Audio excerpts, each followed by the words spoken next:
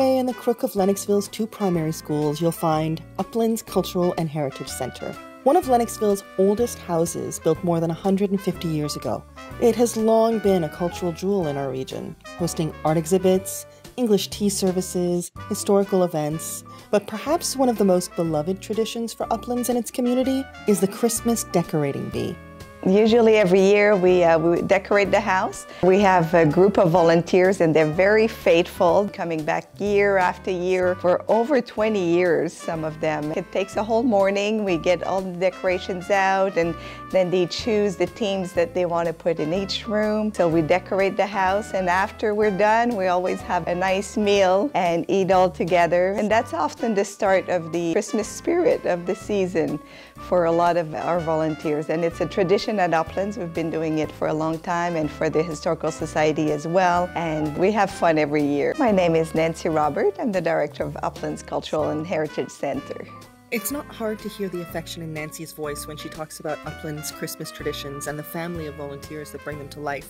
That's probably why she and Visitor Services Coordinator Julie Marleau held out hope for a little while. In the fall, in November or end of October, we started discussing what we what can we do to bring the holiday spirit to Uplands despite all the restrictions. A lot of the events were not possible and even the Christmas decorating, a lot of our volunteers are retired people and uh, so we didn't want to put anybody at risk. It's always disappointing, especially at this time of the year. We decorated a little bit the inside, but we knew there was this possibility that we would have to close. Well, we like to decorate, so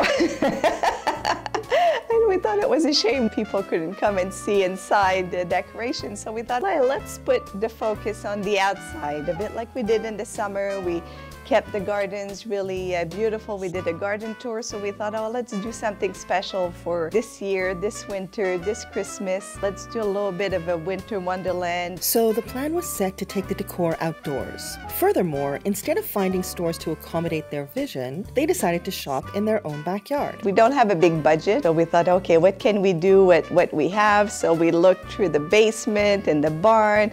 We found old pieces of wood, old shutters, and so Julie and Nicole as well. We transformed the barn into an elves workshop.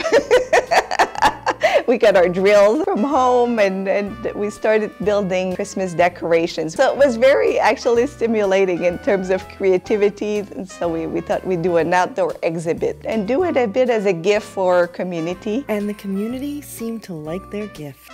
Oh, it's lovely. I think that whoever did all this decorating should be thanked for their imagination and effort that they've put into it. Buckets and milk crates and the birdhouses, the frames, that, that, was all in the barn. While Nico was busy building the trees, I was making the snowflake and then Nancy was going around with the greenery. we had so much to do that it was fun that some things were already made and we could just place it, make it look pretty. No building required. Our famous trees that Nicole the elf prepared in the barn with old planks and baseboards. The place is just gorgeous. Uh, wonderful. Good. Kristen McKercher and Carol Smith are two of the faithful volunteers Nancy referred to. For years, they've been volunteering at the Lamb's Victorian Tea, held annually on December 1st. I think it's going to be wonderful. I haven't seen it all. Oh, this is nice. Deer garden. Julie worked hard on the names. We brainstormed, and Evelyn, who's our summer gardener, she painted the names on the uh, on the signs. It's very pretty. Eh? The thing I noticed from their street was joy.